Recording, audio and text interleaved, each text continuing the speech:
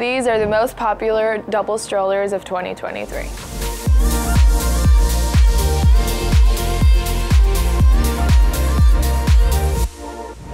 This is Cybex Gazelle.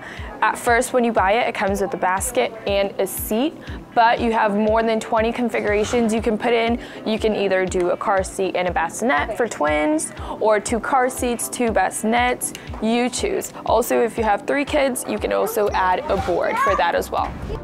This is Nuna Demi Grow, also with double.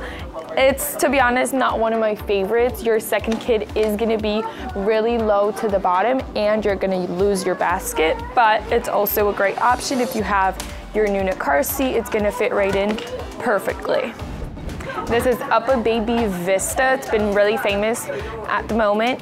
It comes with the first seat and a bassinet for your newborn as well. In case you have a second child, you can add your rumble seat and this one you can add a board as well. This is Silver Cross Wave. Also comes with one seat and a basket.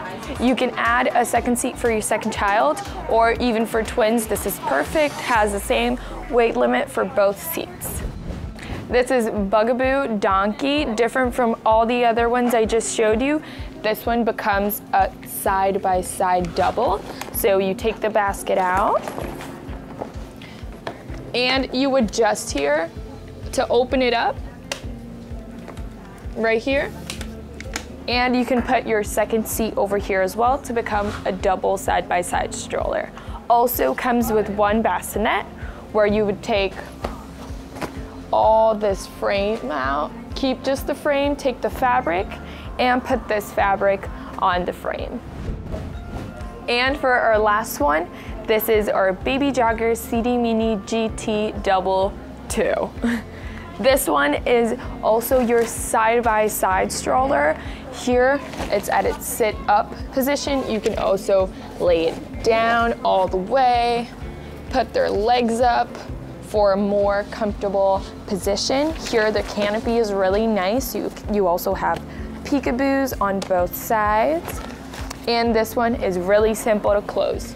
You just pull it up and you're good to go. Hope you enjoyed this video. If you want to guarantee any of these strollers today, just go to macrobaby.com or come here in our store. Also, don't forget to like, subscribe, and wait for more.